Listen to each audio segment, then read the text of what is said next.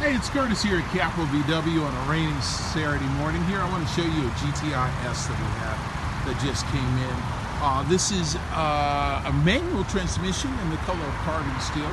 It's a 2017, so it will have Apple CarPlay. Show you the interior real quick. 210 horsepower.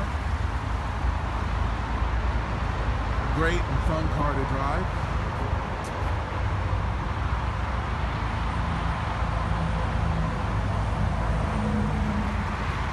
Car's in excellent shape. Has uh, about 11,300 miles on it.